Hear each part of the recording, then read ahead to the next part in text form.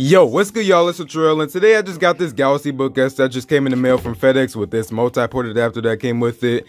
And yeah, I already know that you're asking, Latrell, I think you kind of already got a Galaxy Book S unboxing done already. Yeah, I did, but this one is kind of special. So this one actually has an Intel processor instead of this Snapdragon processor here. So we'll talk about that more in a minute, but let's get into it.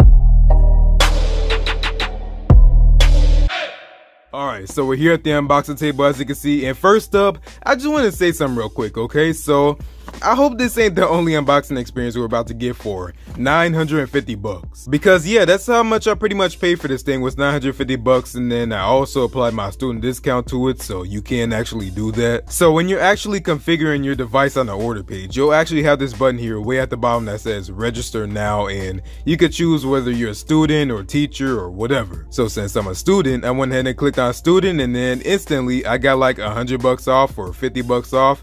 I don't really remember how much exactly. So yeah, that's really clutch. And here's one really weird thing about that. So basically, they don't ask for your student email or anything. They just let you buy with the $50 or $100 off. Like, you don't even have to be a student, which is the crazy part. But yeah, for 950 bucks, I'm really underwhelmed right now. Like, look at the Galaxy Book S Snapdragon version.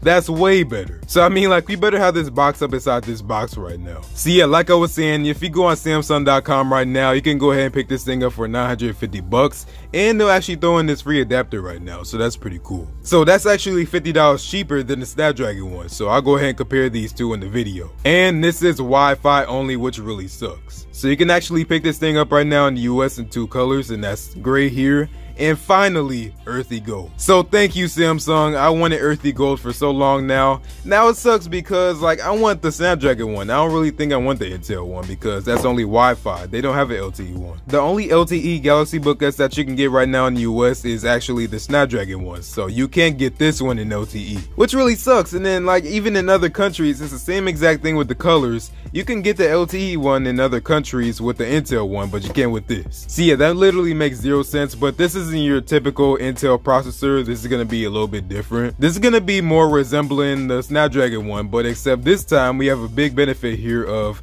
we can actually natively run x86 apps and x64 apps out here. Because this is still an Intel processor, we don't have to emulate any apps or anything. So yeah, I mean, besides that, with our really boring unboxing experience, I mean, let's go and check this thing out. So I got old reliable on deck. let's go and do this. And I honestly don't think I'm gonna be keeping this thing because I really like my Snapdragon. Oh yeah, there we go. I was just gonna say, man, that okay, now I feel better now. But I don't think I'm gonna keep this because, well, I like my Snapdragon one and I like my LTE, so that's kind of a downside that I really don't like about this, that it don't have LTE. Now, if this did have LTE, I might be reconsidering, but right now, I'm not. But okay, that made me feel way better. So let's go ahead and get this thing out the box. And here we go. So here's our earthy gold. Oh man, I'm so excited for this. This earthy gold already looks sick up in here. So let's go and get out of our dryer sheet wrapping right here. And wow, man, I'm feeling that. Oh yeah, this is boss right here. So this is our earthy gold here and I'm loving this. So the thing about this is that this is to be the same exact body here as our Galaxy Book S here with the Snapdragon processor. Everything inside the box is to be exactly the same including the charger. The only thing that's really changing out here is the processor obviously. But let's go ahead and open this thing up. So my Galaxy Book S with the Snapdragon did not have this sheet here. But yeah, so that's our Intel Core i5 as you can see right there with that sticker right there. We got the Energy Star sticker and well, yeah, that's pretty much it. So looking here at the bottom of the Galaxy Book S, usually this is a SIM and SD card tray, but now it's just gonna be an SD card tray. So yeah, that sucks, but I mean, it is what it is, I guess. So let me go and show you my Snapdragon Galaxy Book S right here, and then you will see that I have a Verizon SIM card over here. So there we go. There's our Verizon SIM card, as you can see there. And then you can just put an SD card up in there. So let's go ahead and actually turn this thing on, but I think we need to go ahead and plug it in first. And yeah, that's how it usually works with these Galaxy Book S's. Now let's go ahead and get into the rest of the box here. So we have our usual bucks and stuff. So what we do with that,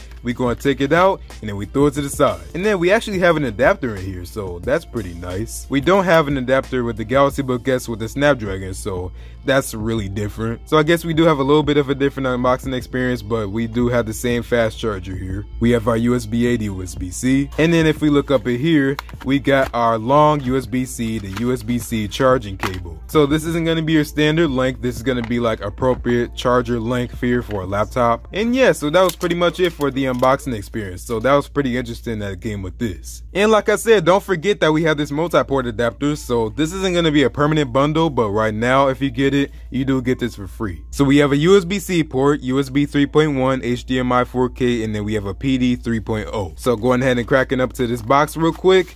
And here we go. So we have an aluminum adapter here, as you can see. So pretty nice build quality. Taking off the plastic and then you can see all of our ports. So, I mean, it looks decent. I wonder how much this costs. I have to look it up. So just looking around this thing, if you don't know what the Snapdragon Galaxy Book S looks like, I'll go ahead and show you around this real quick. So we have our full keyboard here with the same exact keyboard layout as our Galaxy Book S Snapdragon. As you can see, these are what the two colors look like here side by side. And if I go ahead and close these things, you'll go ahead and see the lids. So man, I'm feeling this color so much, y'all, but this is what it looks like side by side. So we got the gray and then we got the gold. So let me know in the comments below which color are you feeling more. Now this kind of looks like blue in this lighting here, but trust me, in real life it don't look like that. Anyways, on the left side we have a 3.5 millimeter headphone jack and a regular USB-C port. On the front we don't have anything. On the right side we just have another USB-C port and then we have our status light. At the back we don't have anything and at the actual like bottom we don't have anything. And update here, my bad, I actually made a mistake. So we actually do have some stuff at the bottom like some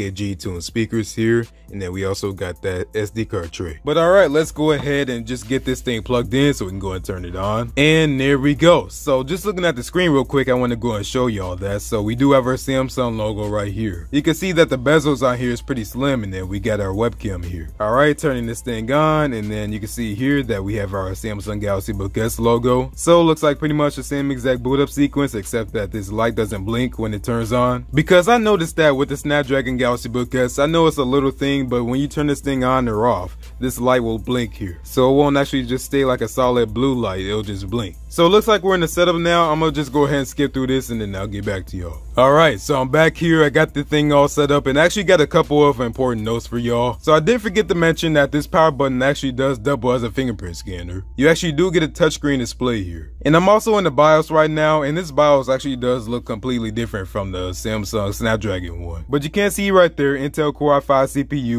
1.40 gigahertz and then 4096 megabytes of RAM. So we have 8 gigs of RAM in here. So yeah, you can see right there there pretty much confirms what we got up in here. And now I'm gonna go and show you that in Windows. So I mean it is cool and all that this thing has an Intel processor. We have the earthy gold color here and it can support x86 apps on here. But at the end of the day, I still think that I'm gonna prefer my Snapdragon Galaxy Book S here. Even if it is in a color that I don't really want. But I think the LTE and everything else is just really worth it for me.